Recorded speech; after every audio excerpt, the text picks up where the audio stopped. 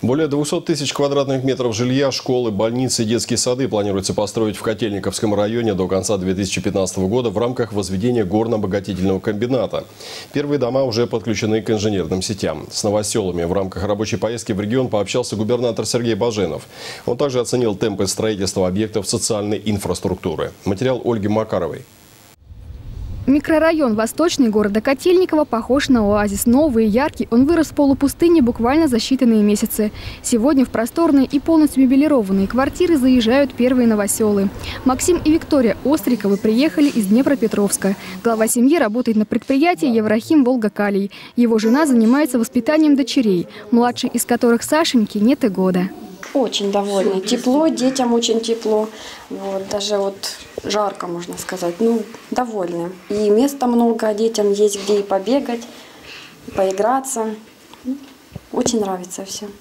По окончании декретного отпуска Виктория планирует выйти на работу. Тем более, что в микрорайоне активно идет строительство детского сада и школы. Все эти объекты возводятся в рамках инвестиционного соглашения региона с компанией «Еврахим». Это крупнейший подобный проект в России. Финансово в нем участвуют и регионы, и федерация. Конечная цель – создать 3,5 тысячи рабочих мест, получить прирост налоговой базы, обеспечить жителей квартирами, дорогами и социальной инфраструктурой. Самое главное, что нет проблем с финансированием.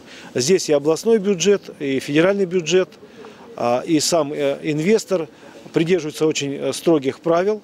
А если объект должен быть сдан 1 э, декабря 2014 года, он будет сдан 1 декабря 2014 года. Сегодня у нас инфраструктурные проекты по строительству жилья, по строительству дорог, по строительству развязок, путепроводов – это несколько миллиардов рублей. Волгоградский регион стал привлекателен для инвесторов. Они создают здесь производство, строят новые объекты, другими словами, вкладывают средства сюда, в местную экономику. А отдачу получают жители в виде работы, улучшения условий быта. Поэтому сотрудничество с инвесторами областное правительство будет и дальше развивать.